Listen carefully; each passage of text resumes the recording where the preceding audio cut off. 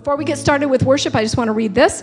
It is Hebrews 4 14. Therefore, since we have a great high priest who has gone through the heavens, Jesus, the Son of God, let us hold firmly to the faith we profess.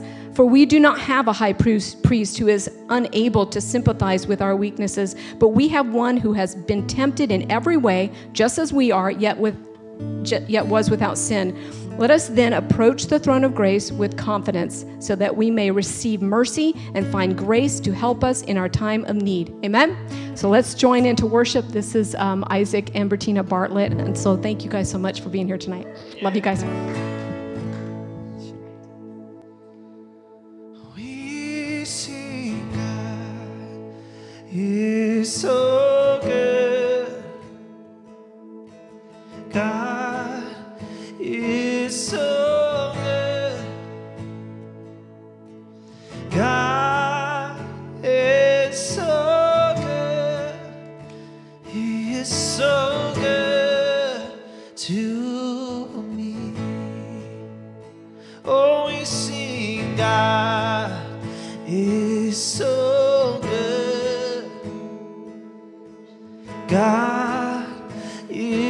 so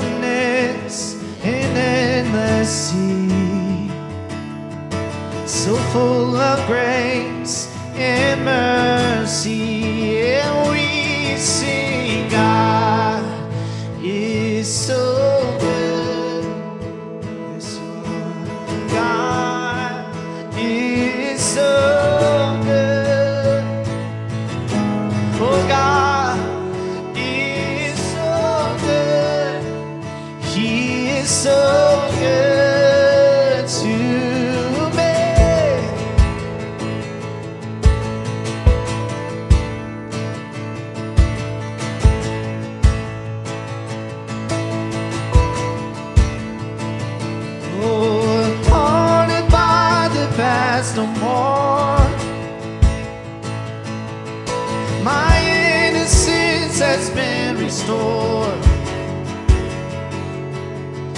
Forgiveness flows from your face. Kindness shown in all your ways.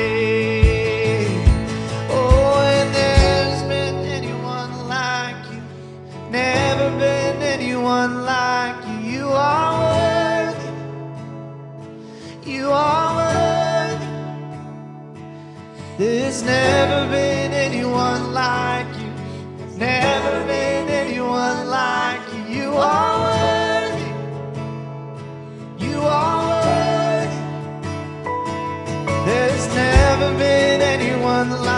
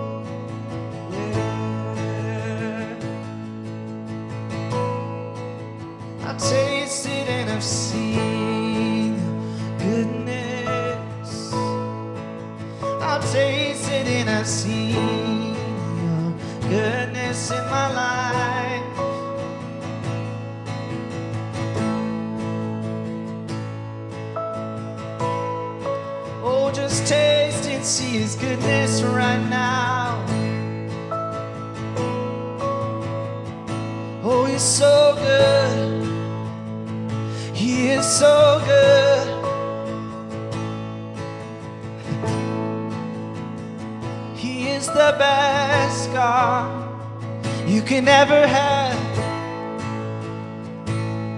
Oh, you're the best God. Oh, you are so good.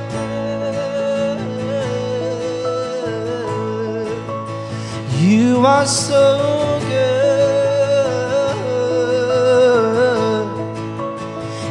you are so good. You are so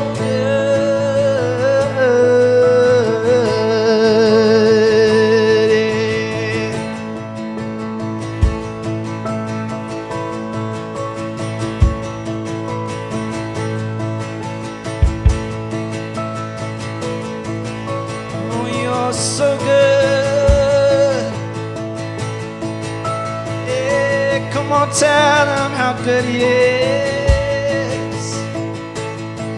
Oh, you'll never fail. You'll never fail.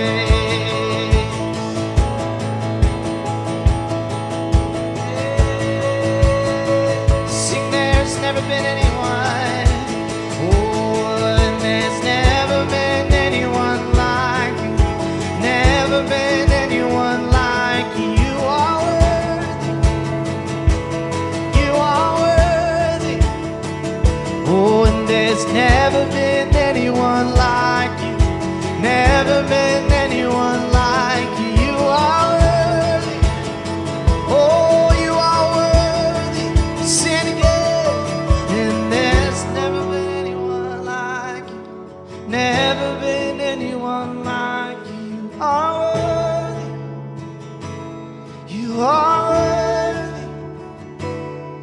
There's never been anyone like you. Never been anyone like you. You are worthy. You are worthy. Sing again.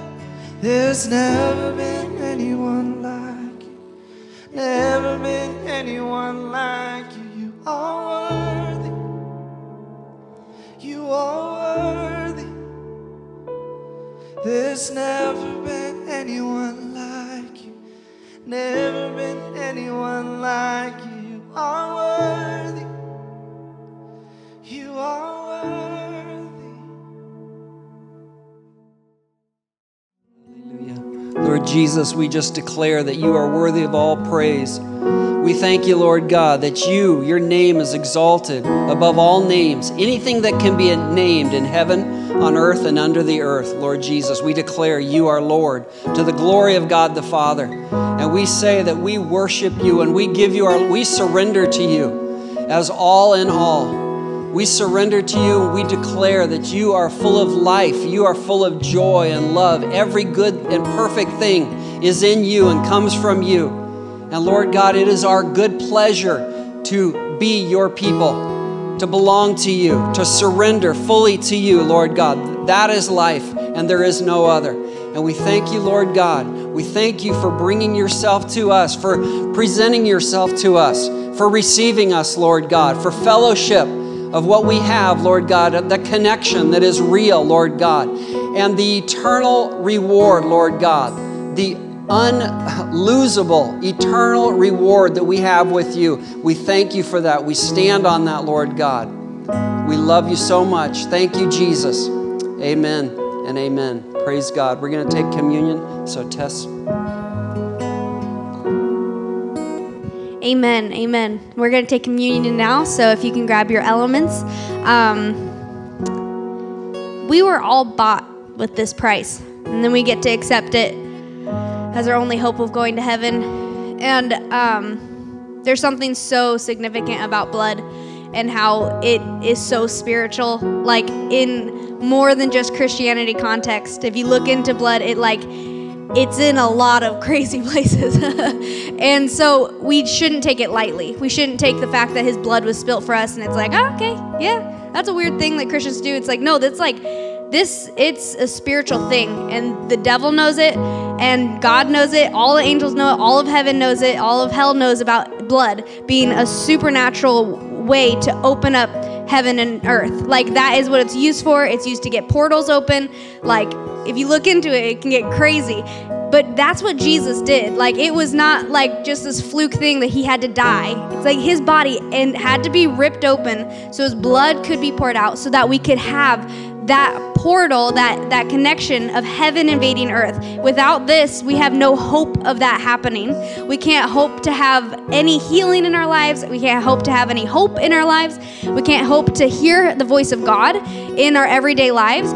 Before, you know, Jesus did this, it was such a dark time right before Jesus came. And then he came and it was like bam, bam, bam, bam. And now we can do all those things he did because of his sacrifice and because he left. Now we have the Holy Spirit and through this, we honor Jesus. And we need to stay in a place of honoring the blood and the sacrifice and not taking it for granted. That's why it talks about in the Bible, like, search your heart, you know, if you have any like unforgiveness or whatever, before you take it, because it has power. And we can't just take it flippantly, like, yay, crackers. I mean, you can't if you're a kid, but when you grow up in maturity, you have to start realizing the weightiness of the blood, the weightiness of the broken body. And that and through understanding the cross and what it did for us, we get healing. I know that there's people who preach about uh, the cross, and people get healed in the room while they're preaching about it because that's the the weight of the presence that's on the broken body and blood. And so we're going to take this, and I just pray. I feel the heaviness of just knowing and not taking it lightly of the blood of Jesus. And I hope you do too. And just take it right now. If you do have any unforgiveness in your heart, just ask really fast. It doesn't have to be, you know, you don't have to do penance for like 10 days. Like right now, it's just, okay, Jesus, forgive me for that. I am so sorry. He forgives you that's what this does. And um, and let's take it all together and just remember this is so important. This is so important to our walk with Jesus. This is where it all started. This is where He showed His love completely and totally and radi- and He just he it was a radical form of love and eh, all of heaven knows its significance. So as we take this, let's just remember him. Jesus, we love you. Father God, we love you. You sent your son, your only son, that whoever believed in him would have eternal life. But he had to die. He had to die. Jesus knew that. Jesus knew he had to die. That was his purpose, so that we could be in communion with you, Father. We could lean back into your loving arms, that we could fall back onto you. So, right now, we just take this with so much awe, with so much reverence of who you are, God, of Jesus, the Messiah who came so that we could be in right standing. We honor you, Jesus, and we thank you for what this means. So, we just ask that as we take it, it cleanses us of all unrighteousness, inside and out, in our minds, on our tongue, in our bodies. We just ask for it to cleanse us right now in the name of Jesus. Cleanse us in the name of Jesus through the power of the blood, through the power of the bread. Right now, we take this. Ask for healing, revelation in Jesus' name. Amen. Let's take it together. Amen. Daniel? Thank you, thank you. Um, yeah, just during worship, I, I don't get this too often, but I felt really clearly uh, that there's someone that's been dealing, I think, for most of their life with severe migraines, and it's on the right eye. And I had a picture in worship uh, when this person, I think it was like three years old, and they actually fell down a slide. It was a yellow and red slide. They fell down and they hit their head really hard. And ever since this incident, they've had these reoccurring headaches and migraines. I just feel like right now that God is healing you right now, that you've had this for years, and Jesus saying, enough is enough. And this pain, this this ailment is not your cross to, to carry anymore. Jesus already carried it on the cross. By his wounds, you're healed. So we command healing in Jesus' name, wherever you are, that even you would feel like heat on your face. Yeah, we, did, we don't have to ask our Father, we command healing. It says, heal the sick. We don't have to try it, we just heal in Jesus' name. So if that's you, if that resonates, please let us know. Please, you know, comment, reply. We want to see this testimony in Jesus' name. Awesome. And I want to take up the offering. And this is a time just to really respond back to the Father. This is still worship. You know, like anytime we give something that actually costs us something, that's worship. And Matthew 7, verse 1, it says, The measure you use, let it be measured back to you. And so just ask the Holy Spirit, you know, ask Him, okay, God, what do you want me to give? And you can give online. We have a, we have these we normally give out, but since you guys aren't here, we have an online uh, website that you guys are already on, apparently. And just hit that button and then yeah bless you guys in jesus name. Let me just pray over the offering. God we thank you that you're the ultimate provider. And god we want to just give back anything that you've already given us. And so god we just we thank you for your provision and god we just thank you for sowing the seed and then you promised we would reap a harvest in your name amen Bless you guys. Here's Bob. Praise God. Well, welcome to uh, Sunday night church. It's great. Um, I'm gonna I'm gonna uh, preach on uh, moving forward with boldness tonight. I really feel like uh, this is a timely message, and uh, so let's pray. Lord Jesus, we thank you so much that you are calling the church to boldness. We thank you, Lord God, that there is a time for everything. Lord Jesus, I pray that the church has ears to hear. I pray that you'd give us ears to hear Lord God, we love you so much. You treat us like a shepherd leading the sheep, Lord God, and we want to hear. We want to follow you, Lord God. We want to follow you whatever field you're taking us into, Lord God. You lead us in, into places where we can feed, where, we, where it's, there's still waters and there's places for us to, um, to feed, Lord God. And we thank you for that. Jesus, you are Lord. You are going to uh, come in victory. You are going to redeem us. The soon, soon coming of the Lord is something we fully anticipate, Lord God. We know it's a reality, Lord God. We never let go of that. We always look forward to you and, and know that you are the one we, we seek for and we look for. And so we thank you for it in Jesus' name. Amen. Praise God. Awesome.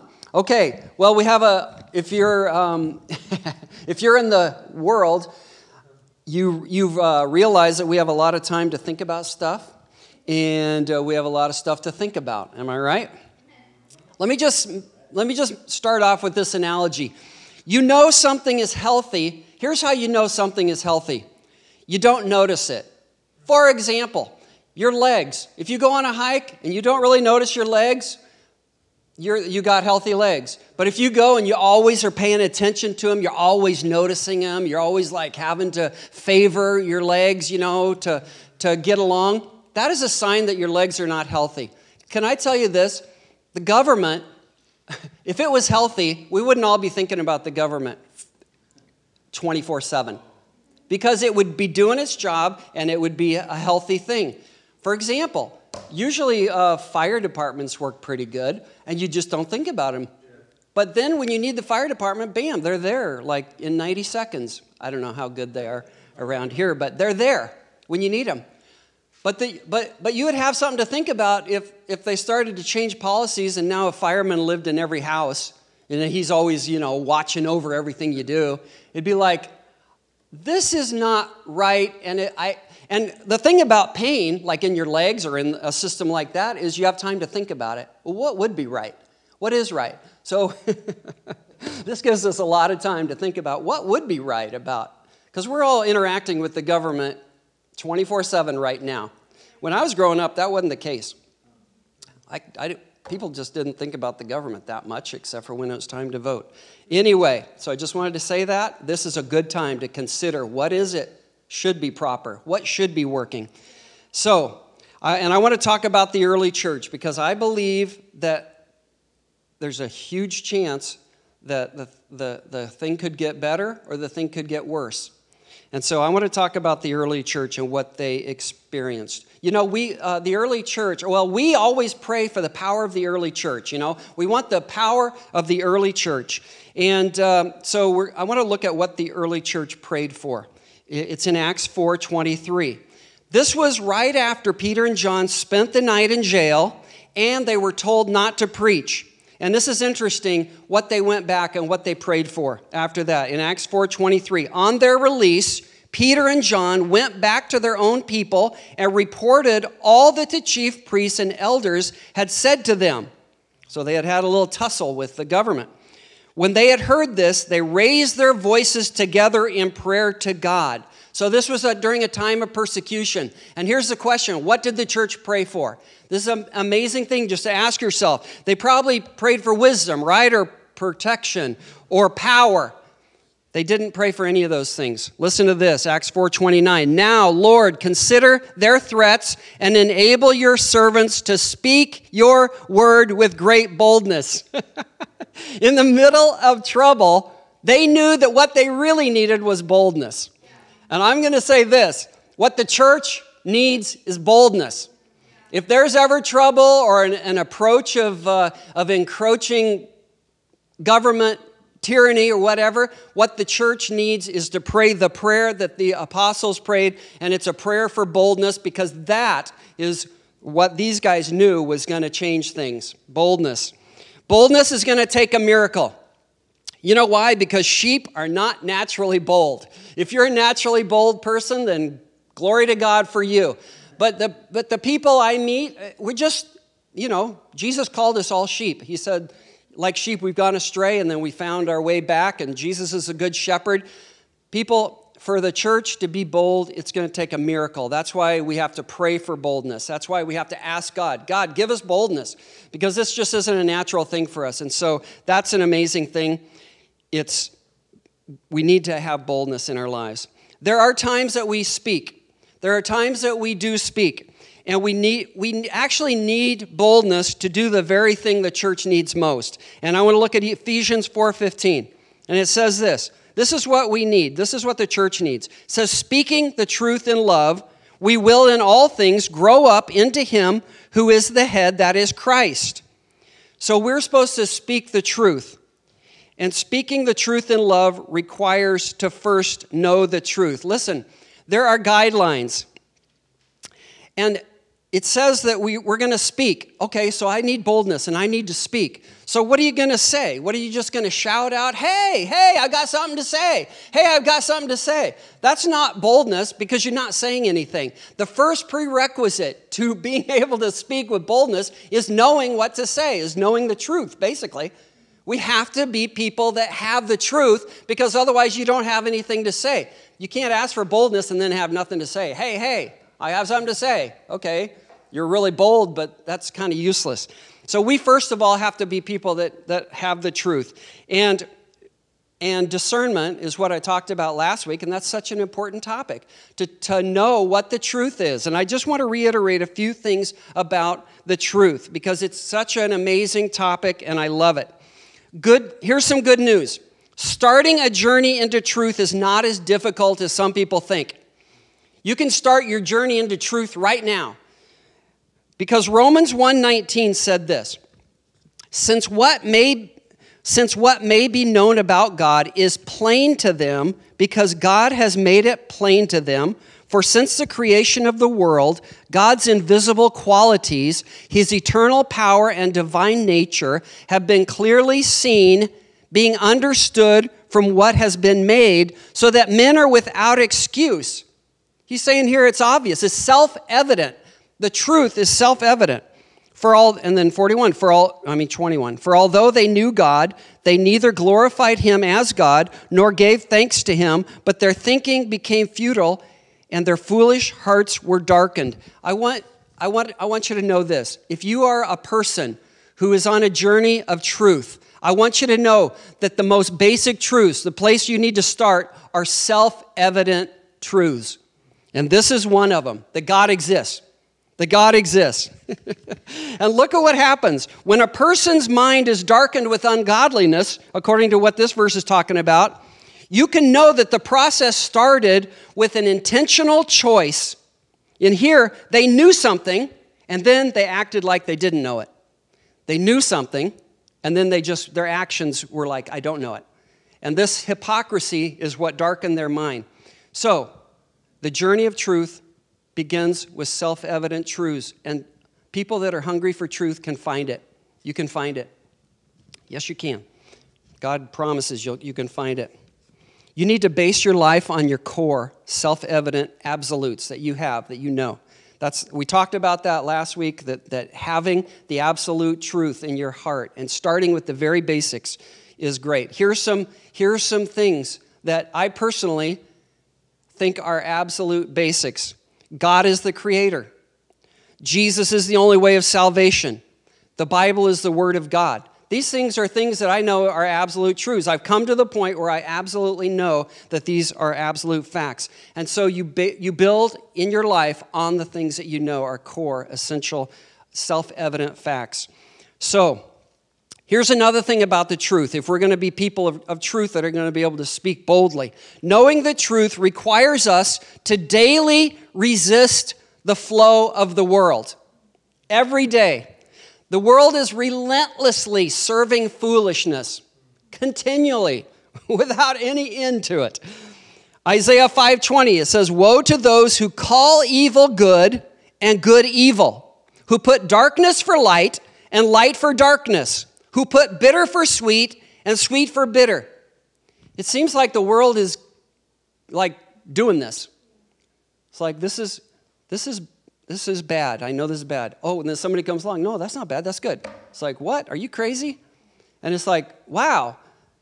So, anyway, there is a daily, relentless flow of foolishness that comes that'll come from the world and you have to resist that that's part of holding on to the truth and listen we may hope that the politically correct madness will soon end but i have got some bad news for you it's bad news but then it's good news the politically correct madness will not stop until the end of the age and here is proof in matthew 13 49 Okay, so if you think all of a sudden people are gonna like wise up and then it's gonna be, oh, we're all Christians now.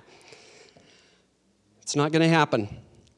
Matthew 13, 49. Listen to this. This is, this is kind of a remarkable uh, couple verses here. So it will be at the end of the age.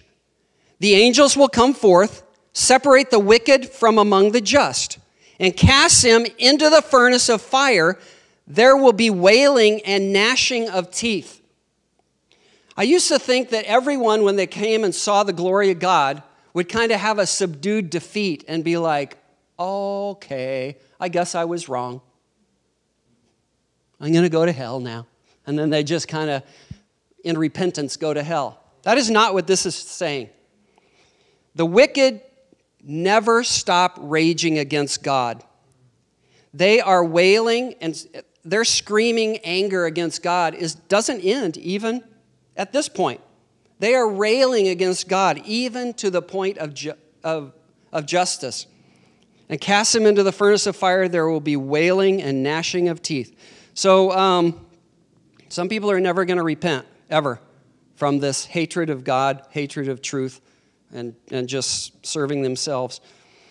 And we will not be separated from the pressure of that influence until the very end. When we're we're not separated away from those people that influence until the very end okay? So we got to decide right now that this pressure from the world's not going to stop but we are going to change.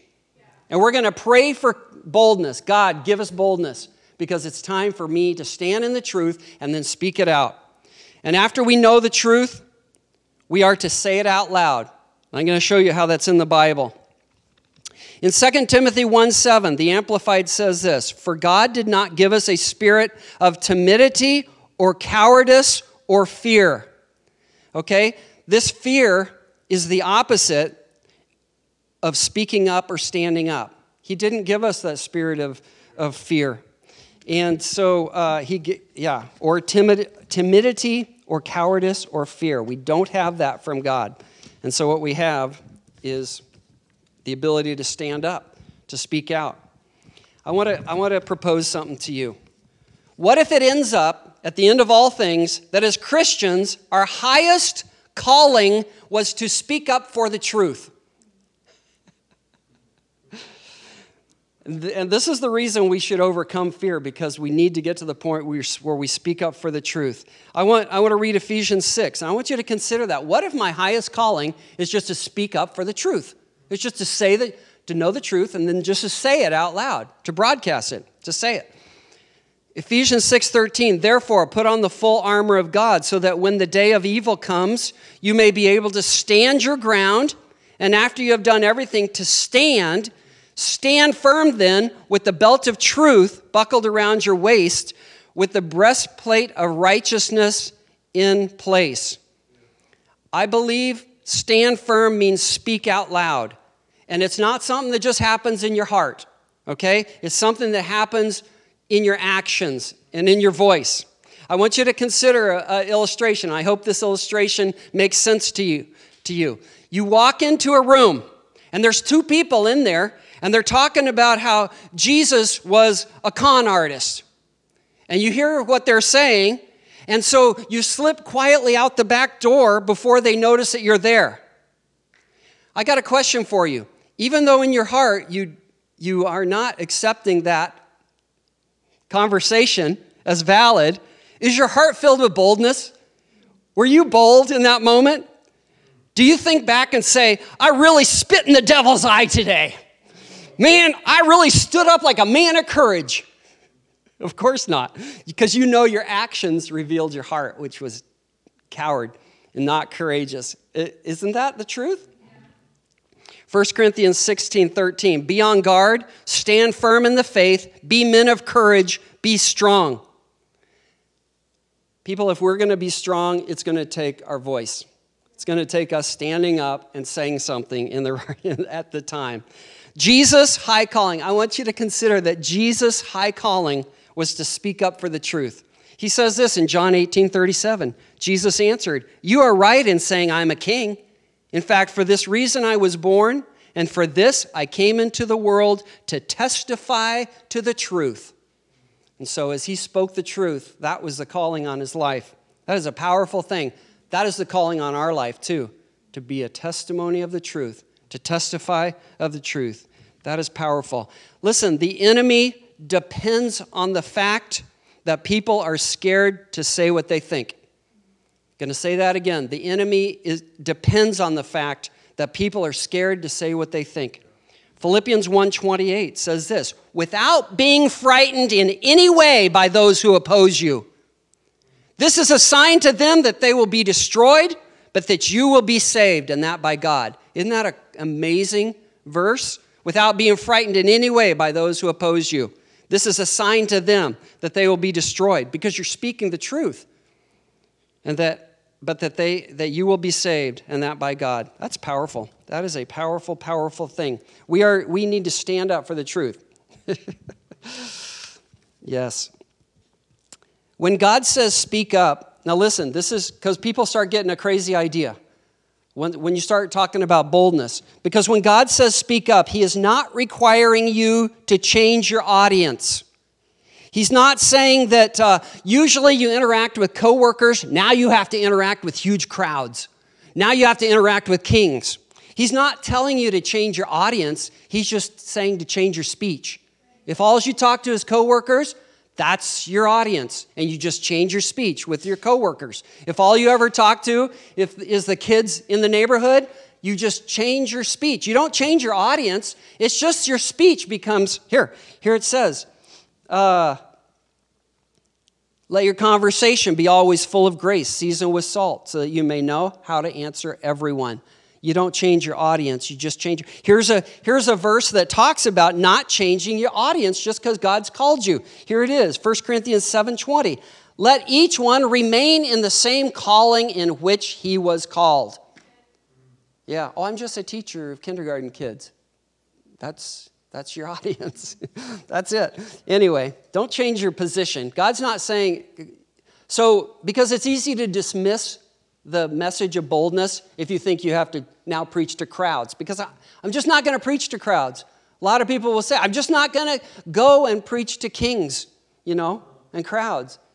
You don't need to do that. Just be bold in the audience that God has already given you. Praise God.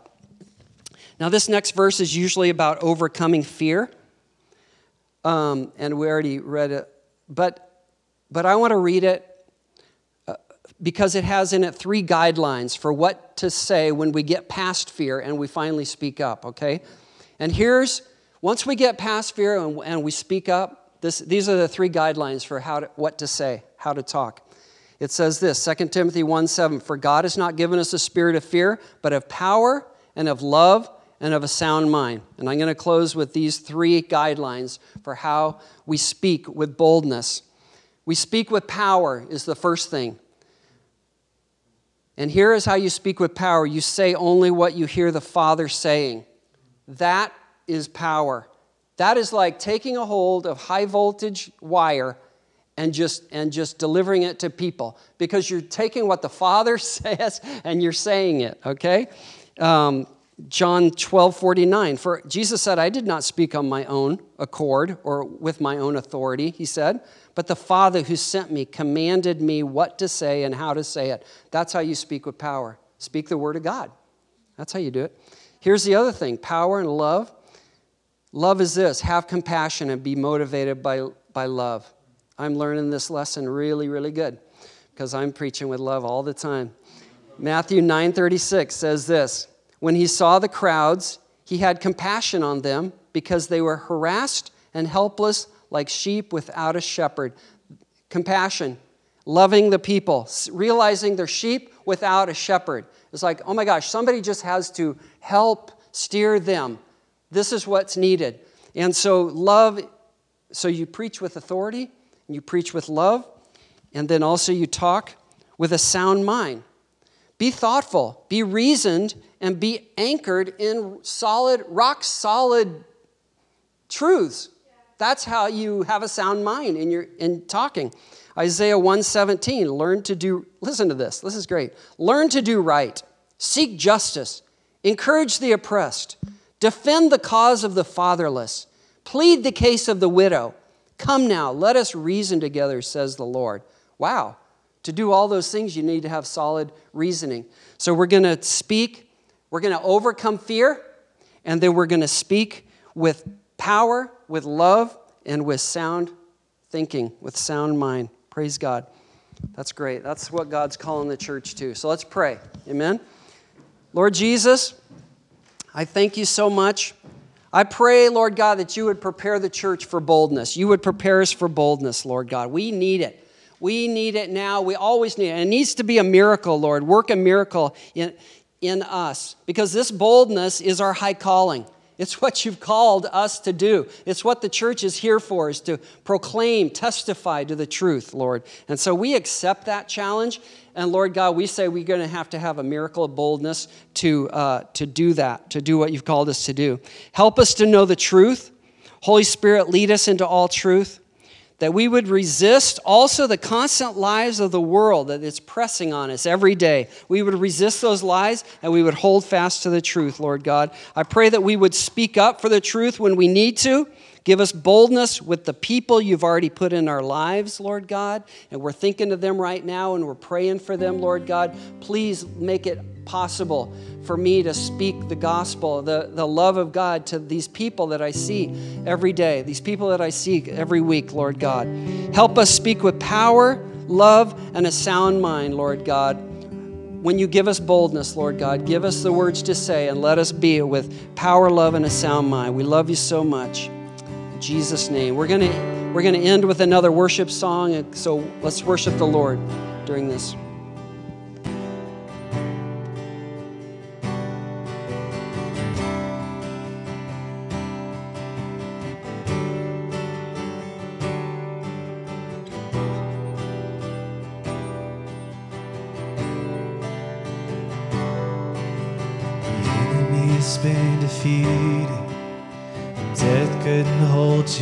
Down. Gonna lift our voice in victory. Gonna make your praises loud. The enemy's been defeated. Death couldn't hold you down. Gonna lift our voice in victory. Gonna make your praises loud.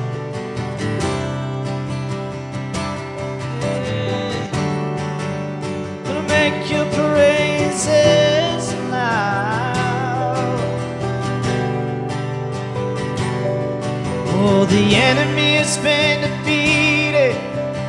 Death couldn't hold you down. We're gonna lift our voice in victory. Gonna make your praises loud. The enemy has been defeated and death couldn't hold you down. We're gonna lift our voice in victory, gonna make your praises loud. And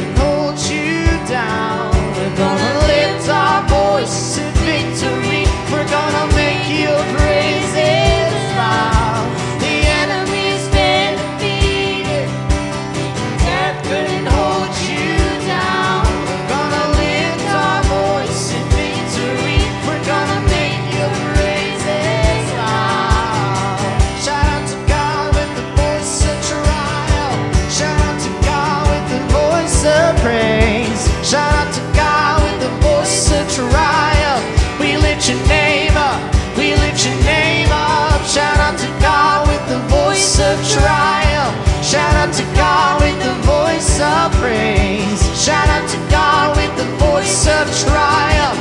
We lift your name up. We lift your name up. Oh, we lift your name up. Yeah. Shout out to God with the voice of triumph. Shout out to God with the voice of praise. Shout out to God with the voice of triumph. We lift your name up. We lift your name up. Shout out to God with the voice of triumph. Shout out to God